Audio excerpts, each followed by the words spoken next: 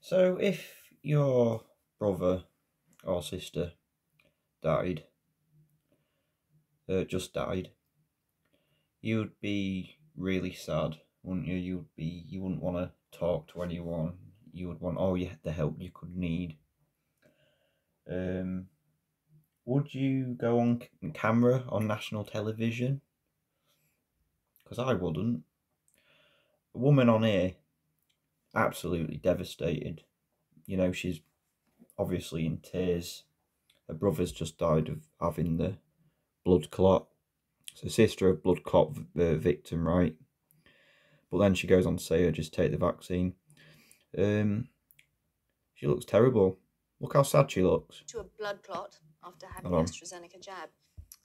Well, we've also just heard from the sister of a man, Neil Astles, who died due to a blood clot after having the AstraZeneca jab. Oh, that's sad, isn't it? She must be absolutely distraught, right?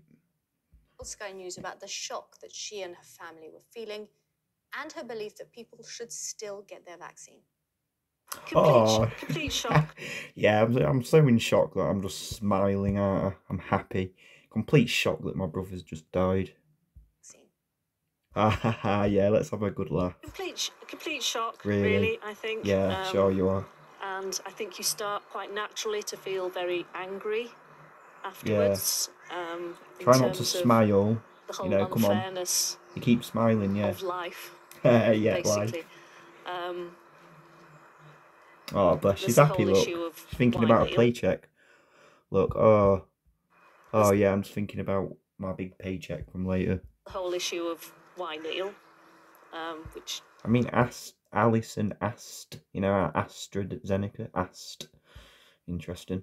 You know, is a, a nonsensical sort of argument, really.